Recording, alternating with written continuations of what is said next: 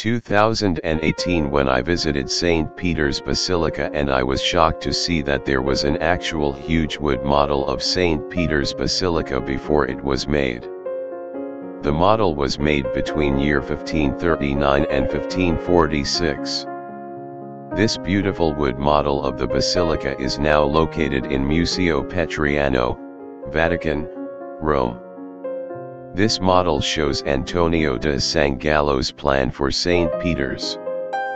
He continued the construction of Bramantes whose piers and arches to uphold the dome could not be changed in any essential respect. The model was then presented to the Pope, shows the huge ambulatory, added by Antonio, a feature Michelangelo particularly disliked. This system of galleries and loggie would have inflated the church to almost double its already gigantic size, the ambulatory would have supported a mezzanine and ionic second story whose largely open arches had no obvious purpose. Michelangelo wrote a devastating letter criticizing the design as Germanic, then accepted the commission to complete St. Peter's without pay, and developed a new, unified plan.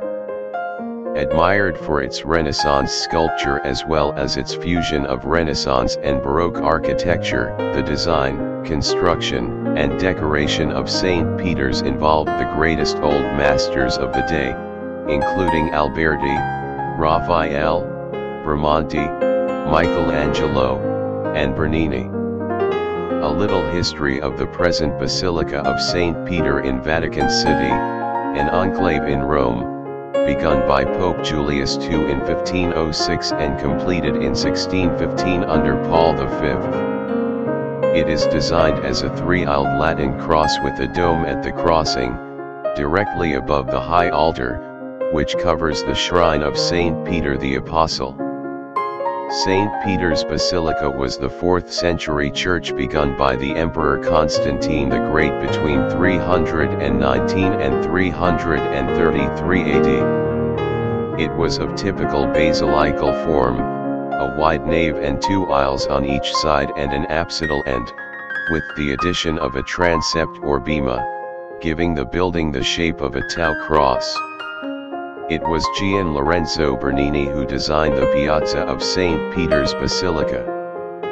The aspirations of patron Pope Alexander VII, 1599-1667, and his favorite architect Gian Lorenzo Bernini, 1598-1680, led to the extraordinarily magical construction of St. Peter's Piazza. Also known as Piazza San Pietro. How many altars are in St. Peter's Basilica? Until that month, it had long been a custom in the church that any priest visiting St. Peter's Basilica could go to the sacristy during morning hours, ask for an altar, and offer Mass at one of the 45 side altars, or nine side chapels, lining the massive basilica right at the church in the center of the church. Signed by Benito Mussolini on behalf of King Victor Emmanuel III, the Pax established Vatican City as a sovereign entity distinct from the Holy See, and granted the Church $92 million as compensation for the loss of the Papal States. The history of the St. Peter's Basilica begins in the 4th century when the Emperor Constantine decides to build a basilica where the apostle had been buried. In 329 the construction of the basilica was completed.